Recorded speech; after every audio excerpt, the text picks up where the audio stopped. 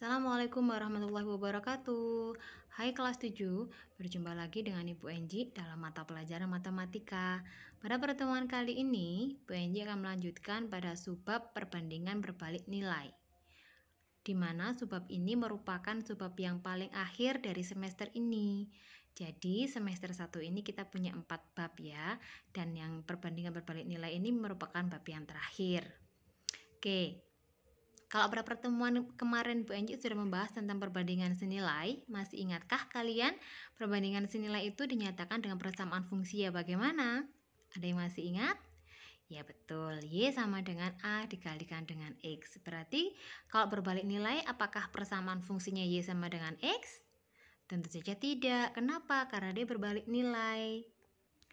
Jika Y adalah fungsi X dan hubungan antara variabel X dan Y-nya dapat dinyatakan sebagai Y sama dengan A per X. Nah, di sini kan antara antara A sama X-nya nggak jadi satu. Kenapa? Karena dia berbalik nilai. Jadi Y sama dengan A per X. Kalau yang perbandingan senilai kemarin, maka persamaannya sama dengan Y sama dengan A kalikan X. Paham ya? Jadi kalau senilai Y sama dengan A kalikan X, kalau berbalik nilai maka Y sama dengan A per X, di mana A-nya tidak boleh sama dengan 0 dan A itu disebut sebagai konstanta perbandingan. Langsung saja ke contoh ya. Contohnya, Y berbanding terbalik dengan X. Jika X sama dengan 12, maka Y-nya sama dengan 6. Berapa nilai Y jika X-nya sama dengan 9? Nah, di sini kan sudah ada pernyataan bahwa Y itu berbanding terbalik dengan X. Jika X-nya 12, Y-nya 6.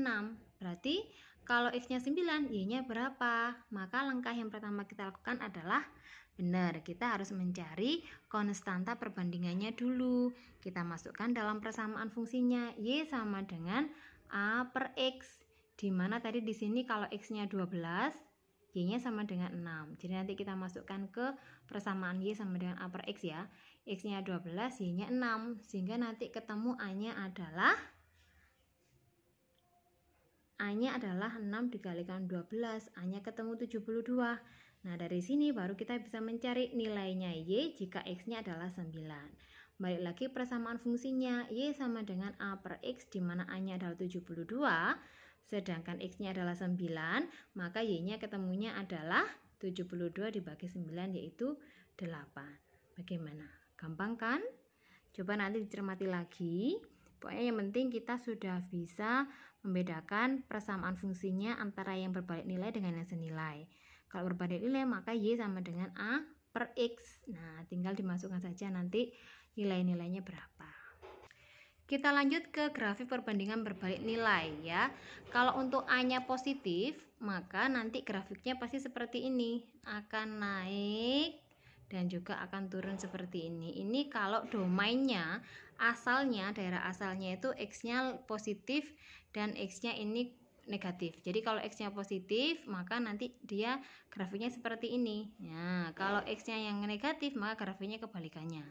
Kalau untuk A-nya kurang dari 0, A-nya negatif, maka untuk X-nya yang positif, harganya adalah seperti ini. Nah, kalau X-nya negatif, berarti seperti ini, kebalikannya.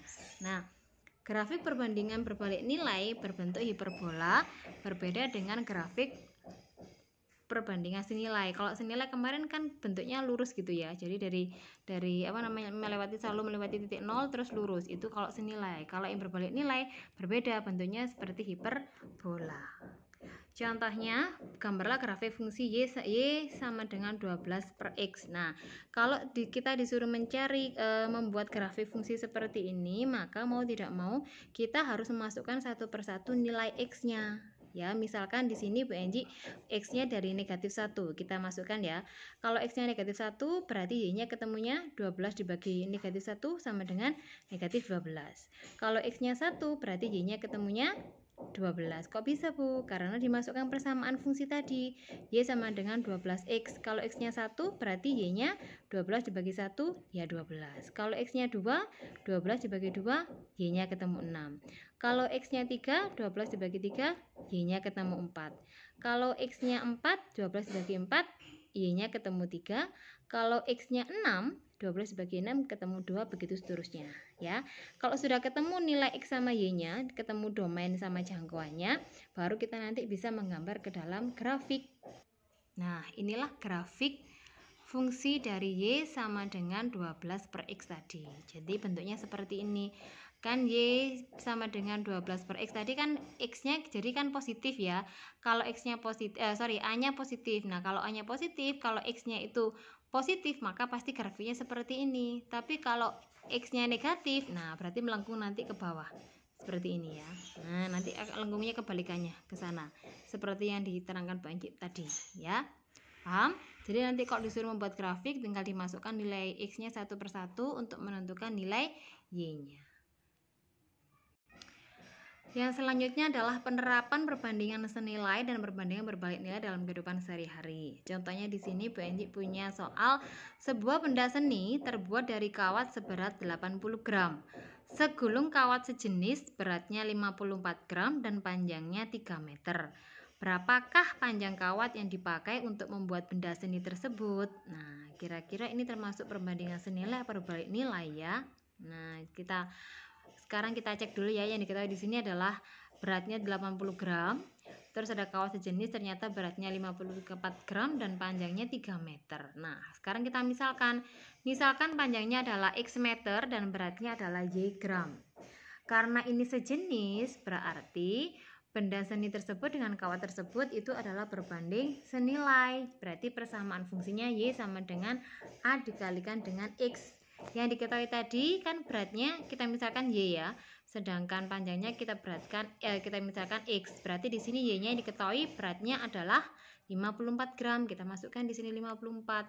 Sedangkan X-nya tadi adalah 3. Sehingga kita bisa mencari konstanta perbandingannya A-nya yaitu 54 dibagi 3 ketemunya 18. Nah, dari sini kita bisa mencari nilainya Y jika berat tadi sebanyak 80 gram kawat uh, si benda seni bentar tersebut ya. Y-nya Y sama dengan A kalikan X, Y-nya tadi adalah 80, A-nya sudah kita cari 18, maka X-nya ketemunya adalah Y per A, yaitu 80 dibagi 18, hasilnya adalah 4,4. Jadi pokoknya kita pahami soalnya, kira-kira masuk perbandingan senilai apa berbalik nilai, tinggal masukkan ke persamaan fungsinya selesai. Contoh yang kedua, Upin dan Ipin berangkat dari rumah menuju stasiun yang jaraknya 1200 meter. Jarak yang ditempuh Y meter dalam X menit. Grafik di bawah menunjukkan hubungan antara X dan Y. Hitung kecepatan berjalan Upin. Nah, ini adalah grafiknya. Kalau kita perhatikan di sini, nilai-nilai yang eh, apa namanya yang paling gampang yang bisa kita gunakan untuk menghitung kecepatannya itu adalah ini setelah kita tarik garisnya ya. Kalau ini kan e, di sini e, nggak nggak tepak ya nggak tepak. Di sini kan kita nggak tahu ini berapa. Apa 100 apa 110 120 kan kurang jelas. Nah kalau ini kan jelas ya yang ini ya titik ini kan jelas. Ini apa namanya meternya y nya 800 x nya menitnya adalah 10 sehingga kita tinggal mencari kecepatan saja. Masih ingat rumusnya kecepatan? Kecepatan sama dengan jarak dibagi dengan waktu. Jadi jaraknya 800 meter dibagi waktunya adalah 10 menit. Jadi ketemunya adalah kecepatan Upin itu 80 meter per menit. Gampang ya. Seperti biasa, di akhir sesi dari video pembelajaran ini, Enji akan memberikan tugas, tugas yang terakhir dari semester ini ya. Selanjutnya mungkin nanti kita ada latihan soal-latihan soal untuk persiapan ujian semester. Ada dua soal. Soal yang pertama, Fungsi Y sama dengan 12 per X yang menyatakan perbandingan terbalik konstanta 12 disebut dengan apa? 12-nya tadi apa? Sudah, sudah banyak terangkan tadi ya, pasti bisa menjawab.